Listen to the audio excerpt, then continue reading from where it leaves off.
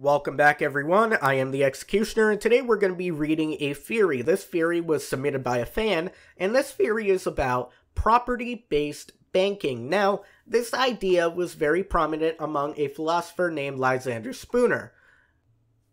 This theory elaborates on his work and goes into how it could work with cryptocurrency and work in the modern age, and how to create a currency that's backed by property.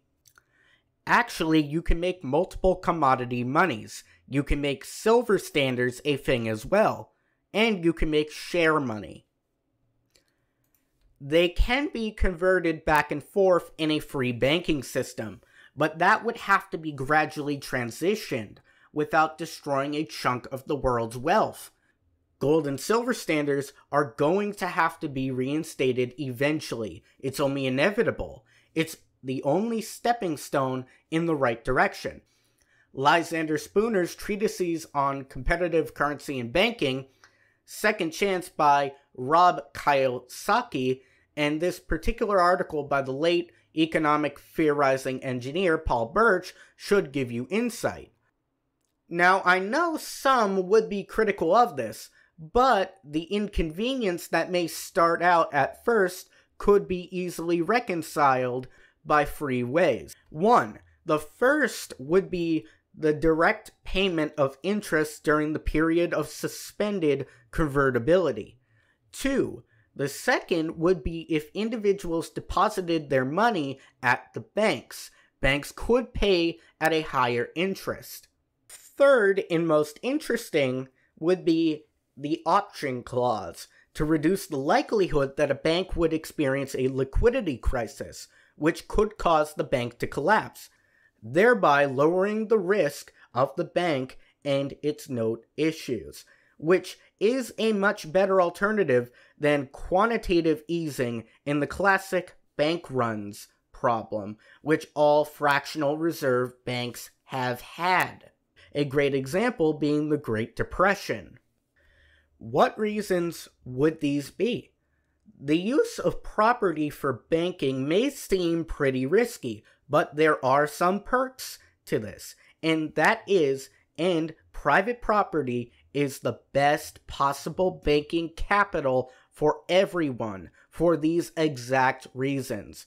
One, because being visible, immovable, and nigh indestructible in most cases, not factoring nuclear weapons of certain designs or severe natural disasters, it necessarily gives to the public an assurance as no other property can. The solvency of the currency from ever being subject to panic on the part of the holders of it and thus protects the bankers and the money users from all dangers of bank runs on them that fractional reserves in central banks do as a rule from all liability to be called on to redeem it otherwise than by receiving it in payment of notes discounted. Land is advantageous because there is so much more of it than any other property. The value of property due to being essential to lives, the uses from it, and the assets that can be made from it, also adding to said value over time. 3. Due to the previous reasons, it can furnish much greater amounts of currency than can be ever used. Being bank capital would not interfere with other uses on it. In fact, would make the uses even more valuable, perceivably valuable overall.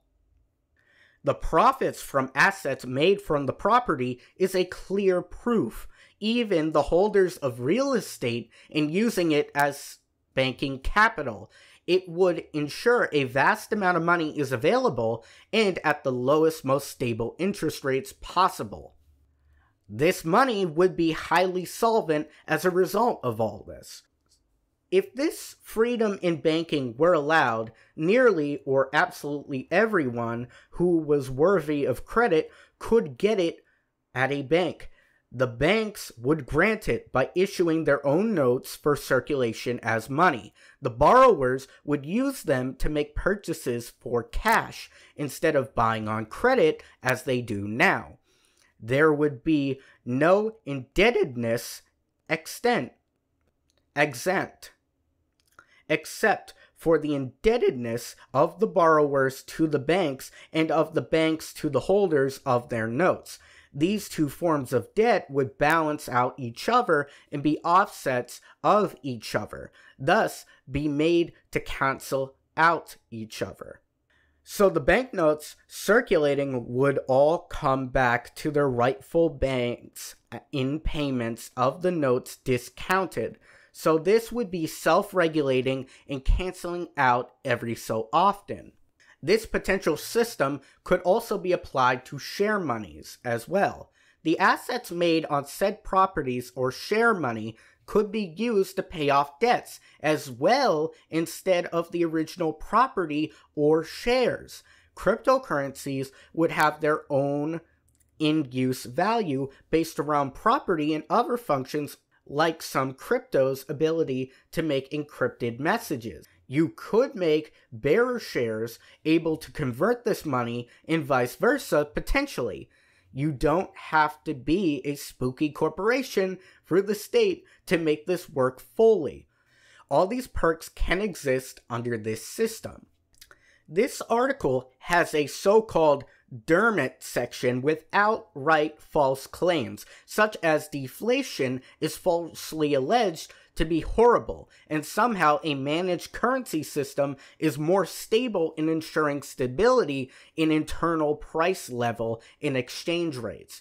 But watch Anthony Davies and several others nuke that claim, as well as the failure of the Keynesians, New Keynesians, Neo Keynesians, Post Keynesians, monetarists, and other expressions of charlatanism, an ideology that's been long debunked by being proved unstable and ridiculous.